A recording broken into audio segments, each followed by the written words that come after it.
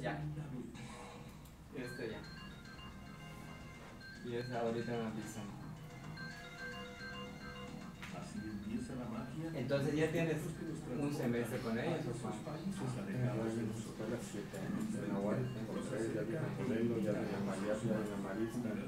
Bendición, ya tienes siete años.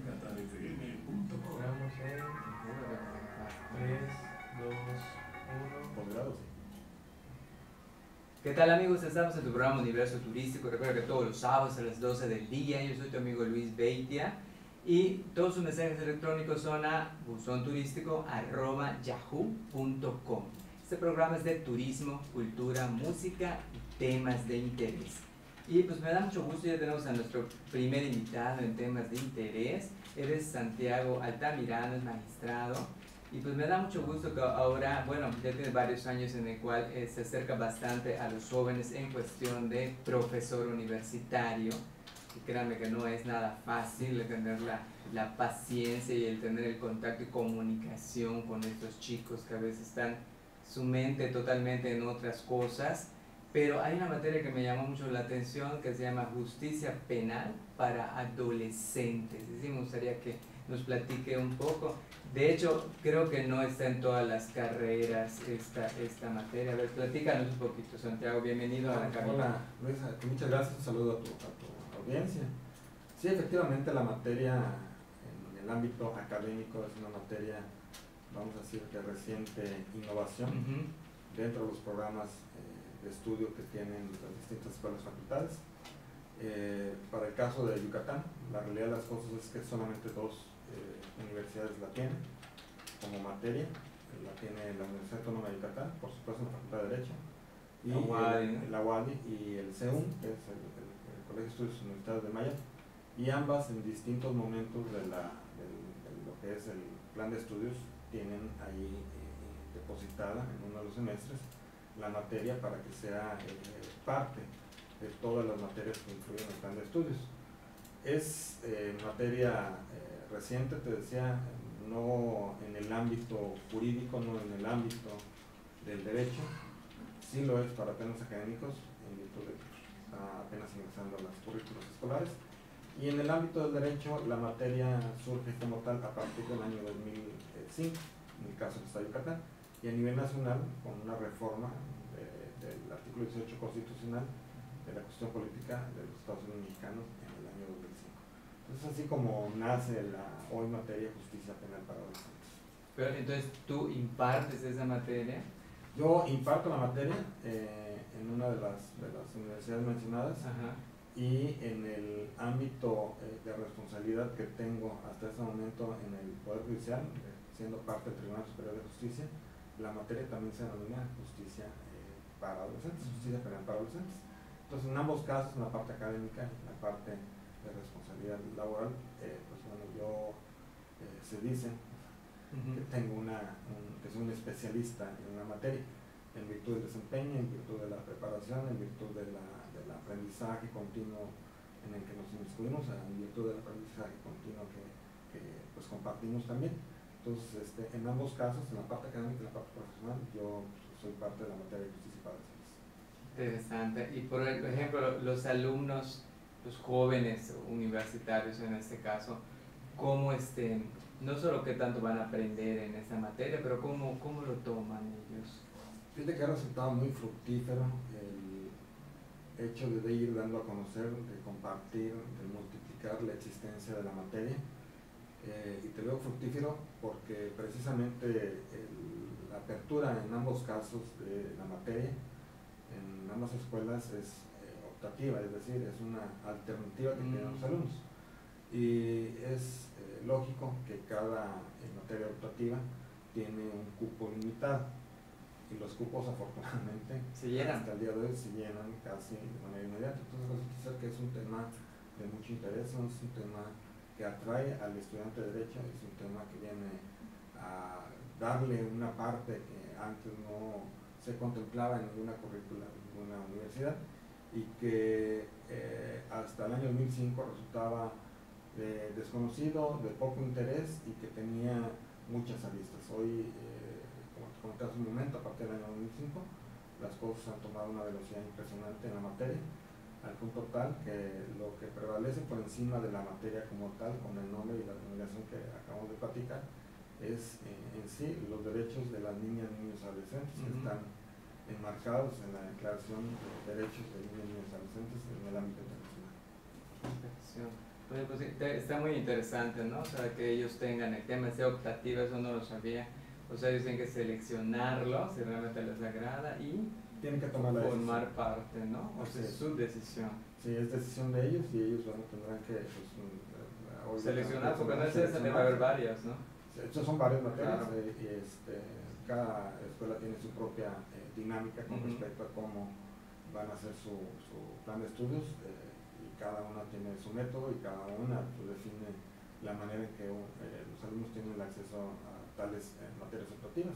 Pero bueno, en ambos casos tienen que tomar la decisión de que esa materia sea parte de la formación que ellos van a tener en el ámbito del derecho.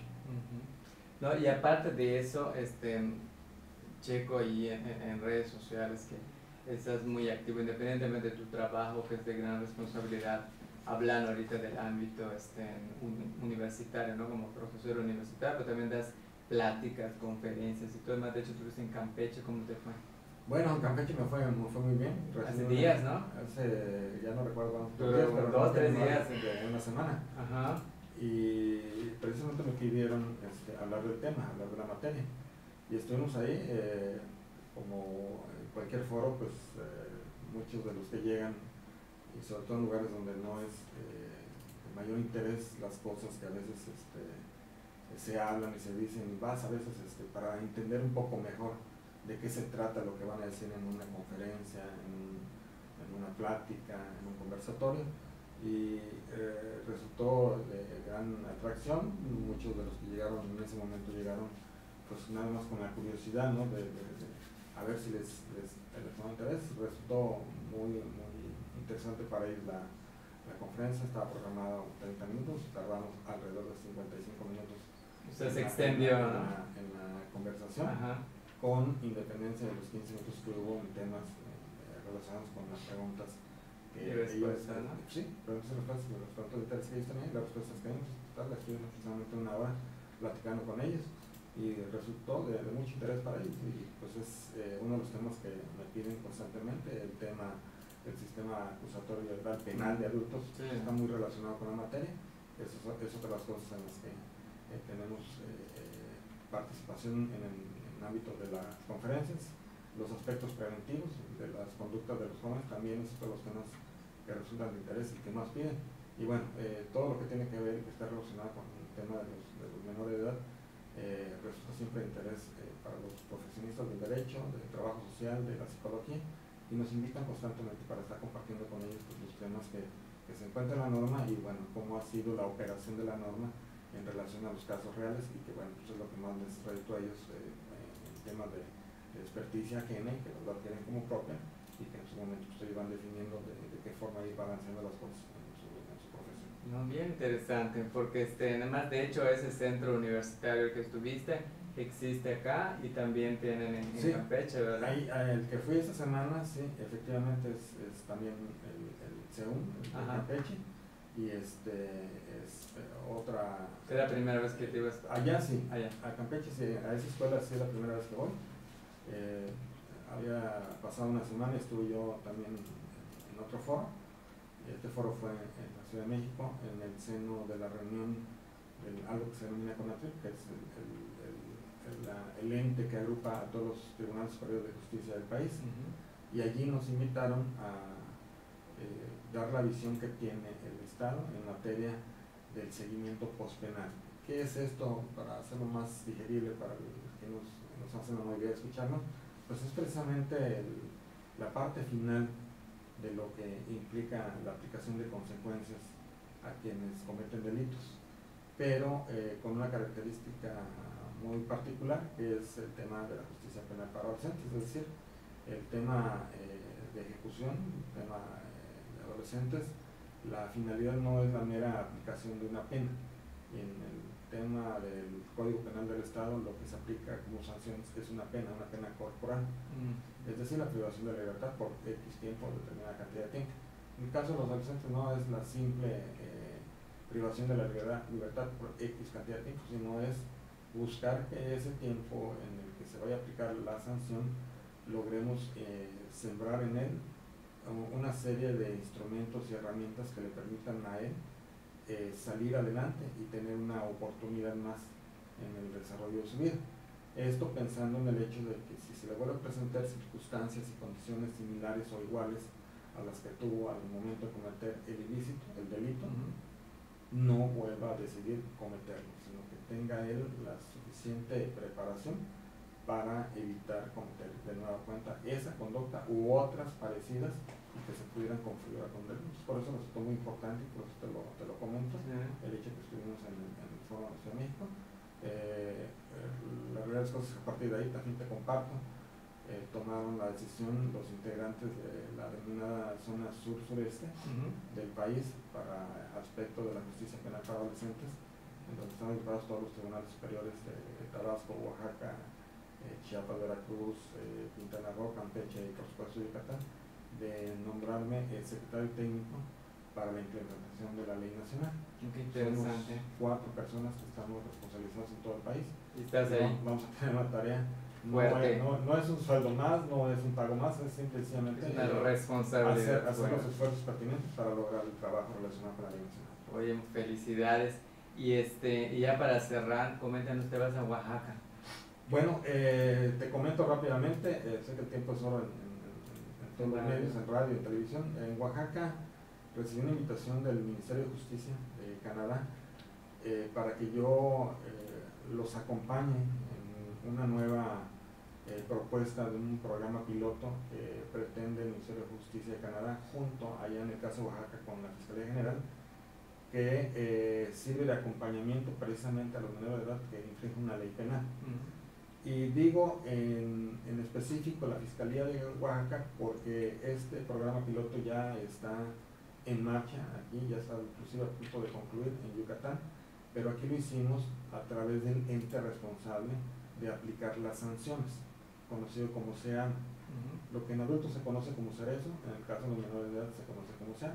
Entonces en Oaxaca la invitación que hace el Ministerio de Justicia es pues, para compartir las mejores prácticas que tenemos en el estado de Yucatán dar a conocer cuáles han sido los resultados que se han obtenido a través de este programa piloto que se está eh, llevando a cabo de la mano con Canadá y que en todo caso si Oaxaca eh, tiene inquietudes, dudas y preguntas relacionadas con cómo se hicieron las cosas, pues podamos estar ahí presentes y podamos compartir precisamente esta experticia que tenemos.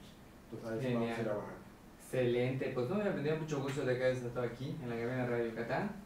Cuando gustes estoy aquí a tu disposición y tú me invitas, con mucho gusto por aquí. Muy amable, claro que sí. Pues nosotros seguimos aquí en el programa Universo Turístico. Continuamos. Esperamos para que yo cierre.